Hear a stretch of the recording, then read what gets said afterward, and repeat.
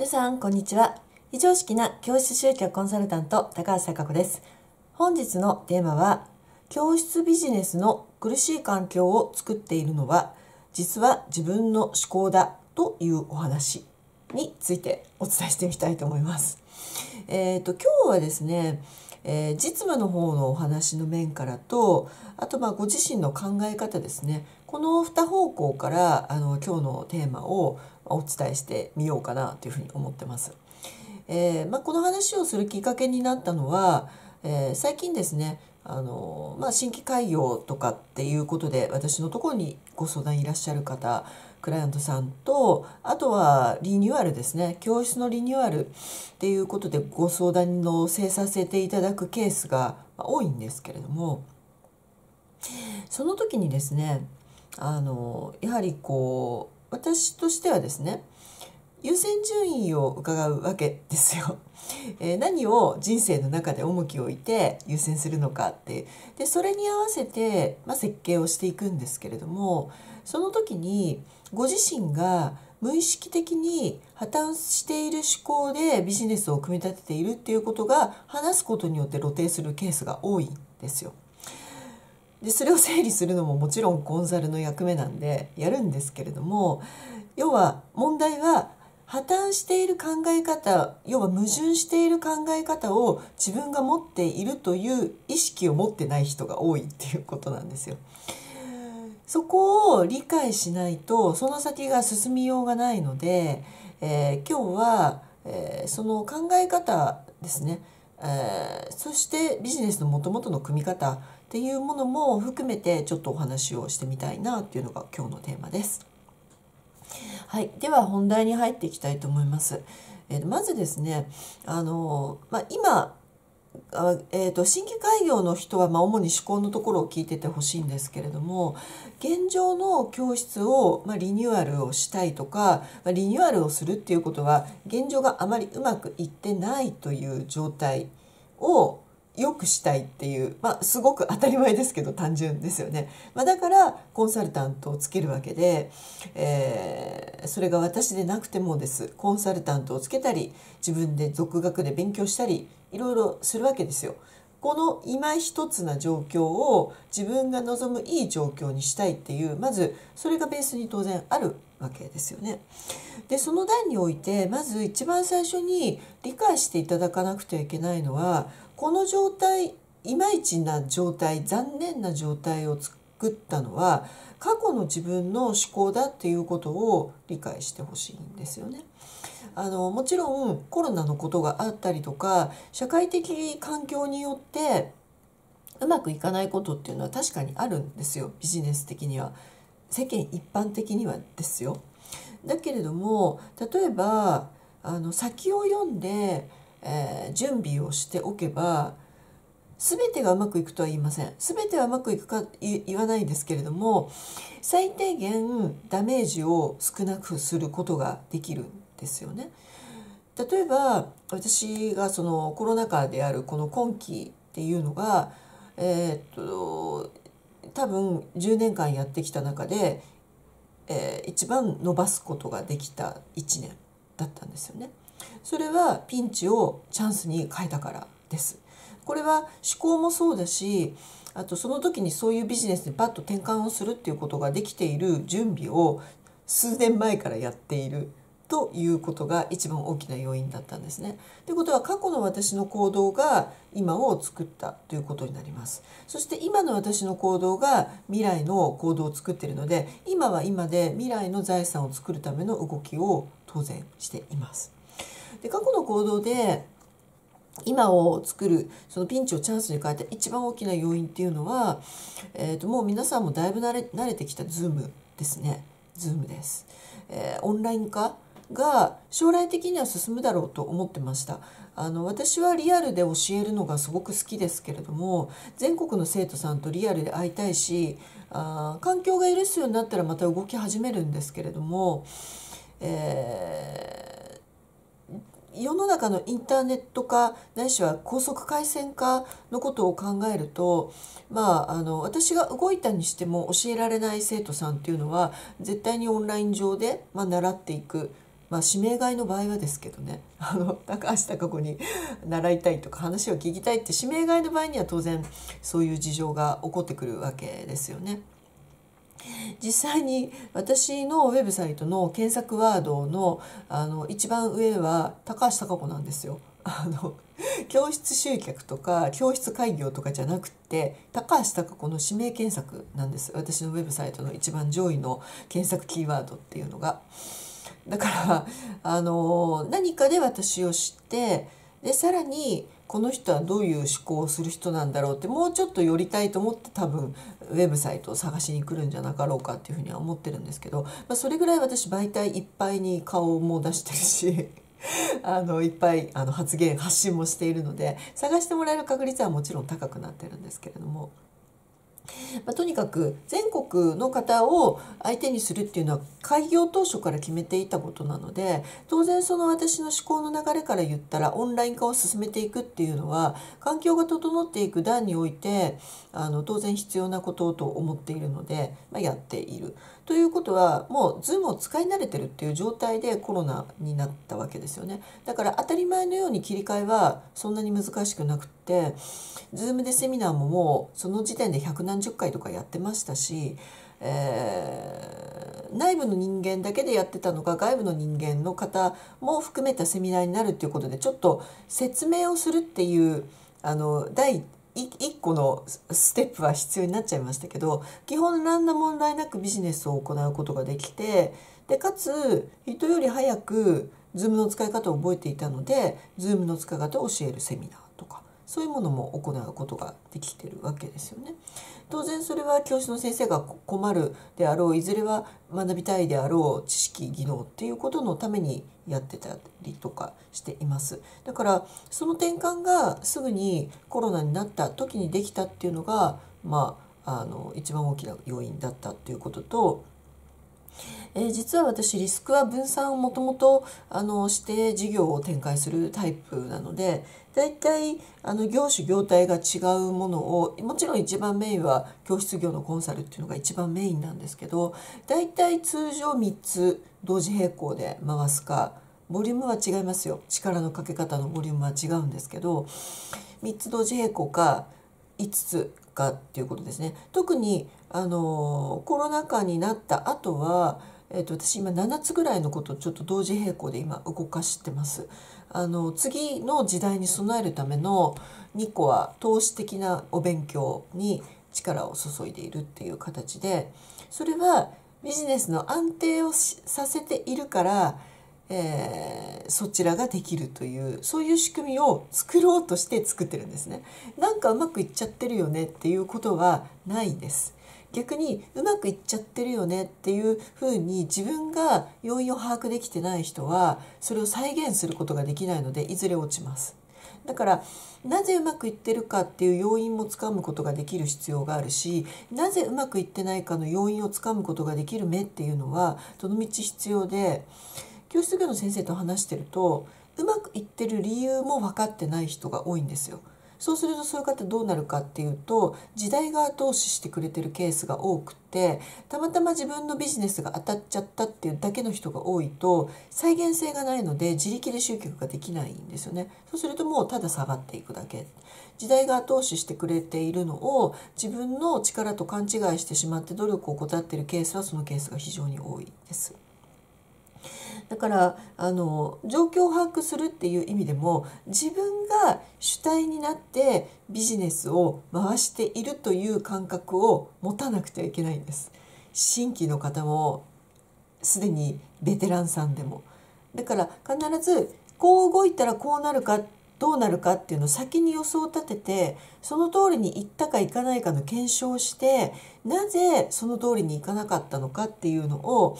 あの自己反省分析をする必要があります。でそれは感情じゃないんですよあの人間的に私のメンタルが弱いからだとかそういうことじゃなくってデータとしてどうだったのかっていう分析をするとほころびが見えるのでそうするとそのほころびを直せば次が上がるだけなのでもうそれの繰り返しなんですよね。だから一発当てるとかそういうやり方はあのすごく疲れます疲弊するので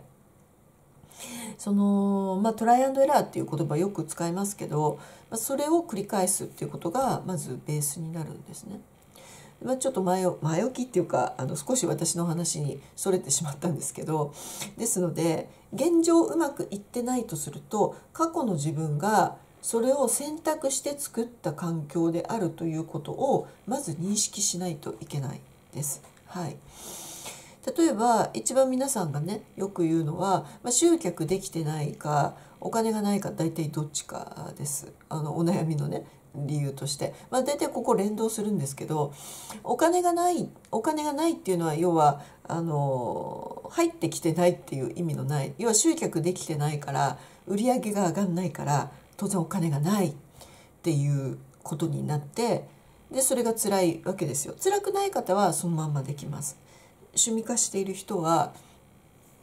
家族に対して家に対してお金を入れなきゃいけないとか、えー、そういうこう背負うものがない場合には好きなようにできるんで全然問題ないです。だけどある程度家計も支えなきゃいけない。特に、えーと、養育費とかですね。私は子供がいないんであれですけれどもあの本当にお金かかります。私の生徒さんから話を聞いていても。あのもちろん実際に今子育てなさりながら教室業をやられている先生とかであれば当然そんなこと言われなくて分かってるよっていうまさにその通りの話なんですけどお金普通にかかります。例えばあの2人ねお子さんとかがいたら養育費っていうのは結局食べ物だけじゃないじゃないですか今って。あの習い事塾もそうだし上層教育的な習い事お金に余裕があればどうなんでしょう？月3万くらいとか出せるんでしょうか、えー、それが結構ね英才教育的な部分とかなんか特進塾とかなんかそんなん入れたら月ね7万とか10万とかもしかしたらいっちゃうかもしれないじゃないですか。それでそんなねあのお子さんが2人とかっていうと、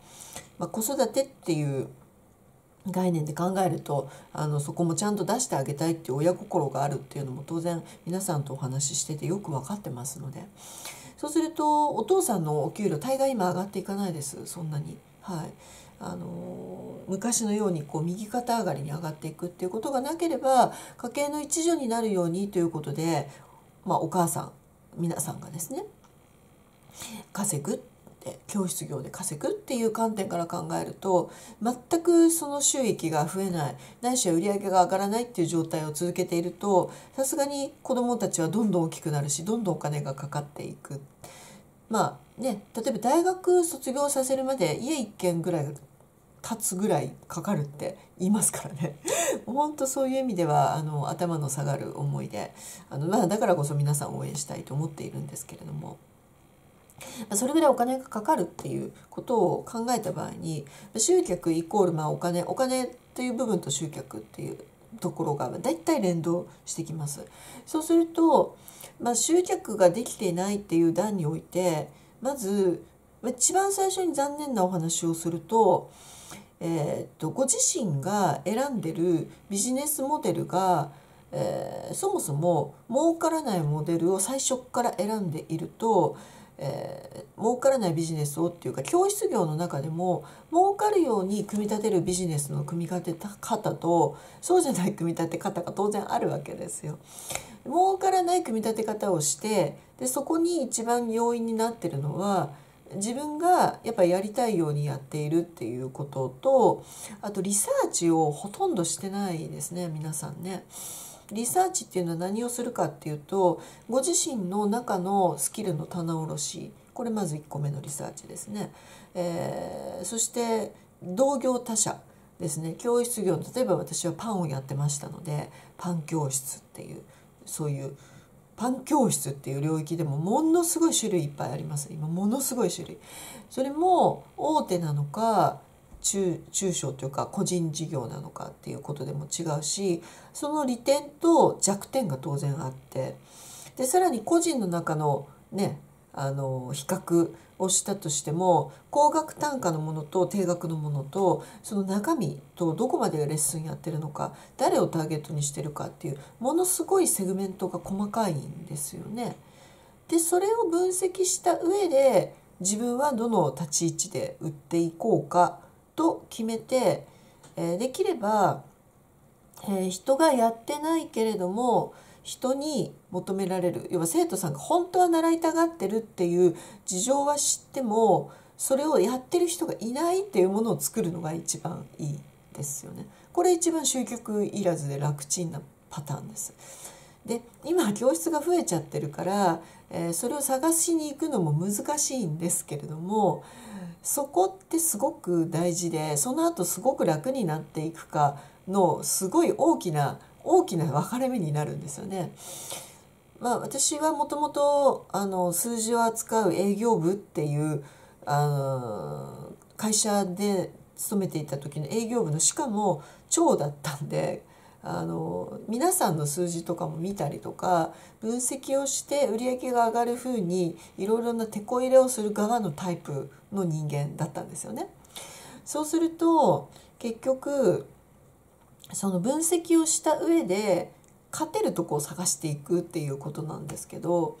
そのまあ勝てるっていうのはあまり力を入れすぎないでうまくいく場所をまずは見つけてそこに対して努力をしていくっていうやり方が結果としては早いです。これはもう何人も見てきてすごい感じてます。で大概ですねあの急ぐ方っていうのはすぐに集客をしたいすぐに売り上げを上げたいっていう方がどういう状態に陥りがちかっていうとあの、まあ、割と思いつきで動く方が非常に多いですね。えー、例えば今流行りこれが流行ってるからでこれをこうレッスンに入れてで募集かけてみました。なんか満席になりました。でそれが23ヶ月続いてあれああうんだんだん満席みんな飽きたんだな。満席にならなくなったんだな。じゃあ次の流行りよとかね。そんな形でこう軸がなくて流行りものにどんどん飛びついてでそれを集客を繰り返してると結局財産になるような集客の構築をもともとしていないのであ立ち行かなくなる時が来るからずっと頑張り続けないといけないんですよね。で基本あの地味に頑張るところはするんですよ。だけれどもその目先のことにあの簡単に手軽に、えー、リニューアルできることっていうのは手軽に他の人もできるっていうことなのできちんと内容を見つめ直してじっくり戦略を組んでそれでリリースする方が結果としてはあ高い金額の売り上げが上がる可能性が高いしあとそれがロングランで長く続く可能性があります。というのがそれぐらい一生懸命調べてるからです。だから大抵私のコンサルを受けていただいた方でそのコンセプト設計とか業界市場を全部そういうのも調べたりあとはその人のサービスを構築したりその全体設計の中のじゃあどれを最優先してどこから手をかけてどこから発信をしてっていう大体その仕組み作るのに6ヶ月かかるんですよ。通常。だからあの一瞬でもちろん作っていきなり売り上げ上げるのは難しくないんです。あるツールを使うとかあるやり方をやる。しかもそれが10年ぐらいやってる先生だと大概あの生徒さんのリストっていうのを持ってるんでそうするとポンって上げるのはそんなに難しくないんですよ100万とか。でもそれでも私がいや皆さんに伝えたいのはあの毎年やっぱり楽になっていくやり方なので出だしのところをしっかり組み込むっていうことをした方がいいっていうことです。だいたいそのすごく残念な状態になってる方っていうのは今すぐお金が欲しい方がまあ多いのでそういう方の場合には長期戦略と短期戦略と大体両方並行で走らせることになるので今までやったことがないことにすごいトライしなくちゃいけなくなっちゃうんですよそういう方って。その時のご自身のマインドですね。あのもうそれを辛いと思ってしないという選択肢も当然あるわけだからいや頑張らないんだったら頑張んなくていいんですよ。そうすると同じ自分になるだけなんで要はその選択をしたから未来がもうそういう選択になっているということです。自分が今の状態を良くないと思っているのであれば過去に絶対原因があります。例えば自分がやりたいことしかやらないっていう結果世間が要は生徒さんがそれを支持しないから集客できなくなってるんですね。あとは時代の流れを読んでなくて全くそのリニューアルをしてこなかったから沈んだ時代の流れを読んでなかったっていう自分がいます。まあ、これに関して言えば動画とか、まあ、Zoom もそうなんですけどその扱うものをその時のトレンドを私皆さんにねあのお伝えしてるんですよ。お伝えしてるんですけどあそうですねって理解して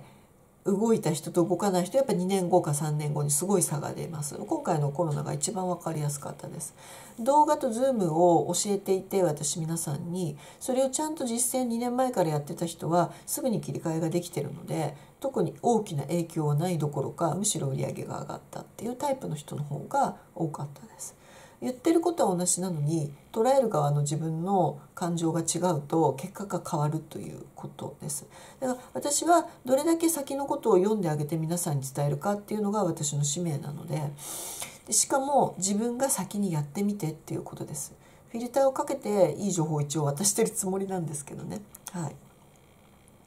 ですからその選択をする時に辛いことがあるっていうことはあります。当然。だって今までそうしてなかったことをやるっていう環境を変えるっていうのは基本人間嫌なのでしかも下手すると倍の努力しなきゃいけない時があるんですよ。でもその将来の自分を、えー、見据えてその時点で将来を信じて努力できるかっていうことですよね。あの本当に全て売り上げっていうのは連動してきてそもそも選んでる領域が悪いとそれだけでえー、集客をうんと頑張んなきゃいけないんですよ選んでる領域が悪いと。だから例えば教室業の中でもお料理業界の中でも激戦区をもともと選んでたら当然その中で 比較されるわけなのであさらに自分のスキルないしは見せ方を磨いてっていう売り方の方を頑張って駆使しないとダメになってきちゃうんですよ。だからあのその売り方をねじゃあするために、えー、立地がね遠い遠いですとかいう方多いですよ。うちも決していい立地じゃないですけれどもね。そうすると遠いから来ないで済ませてしまうのかというかその立地を選んでるのは自分なのでえだって自宅教室業だから自宅じゃないですかって言われるかもしれませんけどいや今ならオンラインっていう選択肢も当然ありますしあと自宅がどうしてもっていうんであればちゃんと儲かるモデルをきちんと作り込んで駅前のスタジオとか借りる家賃払っても借りるっていう覚悟ができるんだったらそれだっていいじゃないですか。そうすると駅前立地で頑張るっていうことはそれなりのボリュームの集客かえー、薄利多売の方で行くんならそれなりの集客か、えー、高単価少人数で行くんなら高単価の商品が組み込んで売れる状態を作んないといけないじゃないですか。家賃払わないといけないから。そうするとそれをどっちかを選んだことによってその手前の作業が変わってきちゃうんですよね。薄利多売で行くって言ったらえー、そもそもサービスに興味ある人のリストというかファンを手元にすごい持っとかないといけないですよ。やっぱ3,000人とか、うん、3,000人っていうと皆さん驚きますけどいやあのそれネット業界では割と普通だからっていう世界です。私の場合には高単価の商品も持っているし高単価中単価低単価って言って結構3バリエーションとかあの商品構成は持っているのであのあと家賃がやっぱ基本もったいないなっていうふうに思っているし、まあ、自宅でできるような環境を自宅で整えるこれはあのもちろん環境づくりっていう意味もありますけども家族の調整っていう話もありますからね仕事を理解してもらって旦那さんに土日とかもまあこれもせめぎ合い今はあのやってないですけどパン教室の時月に4回までっていうルールで土日開催して OK でも4回やるとやっぱり嫌な顔されるんで2回まで。ってことは平日をメインでやるっていうことでまあ折り合いをつけているわけですよね。今はあのどちらかというと Zoom でのコンサルが非常に増えたので自宅を使うっていうことが少なくなったんで、まあ、そういう意味ではあの自宅にいられるから居心地よくはいるんでしょうけど、まあ、そういう家族の調整もしないといけないですよね。じゃあ私その家族の調整が嫌だったらお金を払って外に借りてそういう店舗を持てばいいんですけどそれは経費的にもったいないなと思ったのでオンラインっていうところも使いながら今2つでビジネスをやってるっていうことですね。これもだから全部自分が選択することなのであの遠いからで済む話ではないし遠いことを選んだのはご自身だっていう仕方がないではなくであれば遠くても来てもらえる工夫をしなくちゃいけないっていう考え方に変わっていかないといけないのでそのうまくいってない要因とできてない要因が本当に遠いからなのかっていうことだって当然検証しなきゃいけないし自分の発信量が少ないからなのかとかああとはそうですねまああの内容としてそもそもあ講座の出来が良くない場合とかも当然ありますからねだから客観視する目が必ず必要ですっていうことです。なのでその客観視をした上で再現性の高いものを作っていくとなると痛みが伴うケースもあるということです。はい、今までと同じ状態だと今までの延長なんで変わりません。そして大概今の状況を作っているのはご自身が全て過去に選択してきたことの結果なんでうまくいってないと思うのであれば自分の思考を変える今までやったことないことをやるとか嫌いだったことを頑張ってみるとかそれも選択肢の一個に入ってくることになると思います。ただしあの嫌いなことも全部自分がやらなきゃいけないかっていうとそういうことでもなくって私は個人的に単純作業がすごく好きではないあのこうクリエイティブな考える作業とかがいろいろ新しいアイデアを生むとかそっちが好きなので例えば入力作業とかめちゃめちゃ好きじゃないんですよ。そうすると稼ぐんです私。でその稼いだお金で入力作業を仕事としてやっていて喜んでというか割と得意あのこうチャカチャカね打っていくのが得意という人にお願いするっていう選択肢ができるからその自分でやらない分は苦手なところは稼げばそういう選択肢もできてくるのでそういうお金の使い方にね頭をシフトした方がいいです。あの私一通り教室の先生にホームページ作れるようになった方がいいとか、えー、写真撮れるようになった方がいいとかデザインできるようになった方がいいっていうのは伝えてます。基本の考え方として。でも異常に時間がかかりすぎて苦手すぎる場合にはその分稼いでデザイナー雇った方がいいんですよ。そのせめぎ合いも考えないといけない。ででいいいいデザインで集客がすごく楽にできたら自分ってもっとその自分の、えー、サービスを磨くことに投資できたり例えばねフランスに留学してその知識をさらに増やしたいっていうことが、まあ、生徒さんが喜ぶんだったらね あのそれをやったらいいと思うし、まあ、別に単純にプライベートで旅行行ってもいいんですけどその回すっていう考え方ですね。あの全部自分で1回目はやった方がいいんですけど2回目以降はそのデータ分析をした上で自分がやるべきことは何なのかって今度時間管理の話とかも入ってきちゃうんですけどまあいろいろだから多岐にわたるっていうことです。ですのでまずはその現状把握する上で冷静に自分の立ち位置と置かれている状況をきちんと判断する必要があるということになります。ですから、えー、苦しい環境を作ってるのは自分なんだっていうことを自覚した上で今までやってきたこととやってないこと得意なことと苦手なことまあ、ビジネスの業界事情と時代のトレンドこういうの全部総合して全体設計を組み直すと非常にスムーズにいくケースが多いので今日はそんな話をしてみました。はい、まとめていきたいと思います。えーと、教室ビジネスの苦しい環境を作っているのは実は自分の思考だったというお話の、えー、要点としてまず1点目現実的な問題としては、えー、事前調査分析をどれぐらいしているかということがまず1点目2点目は、えー、今の状態は昔の自分の考え方が作っているということを自覚した上で今までやってなかったこと目をつぶっていたことと新しい考え方を取り入れて変革を行ってみるっていうことが必要になってくると思うので是非ご参考にしてみてください。それでは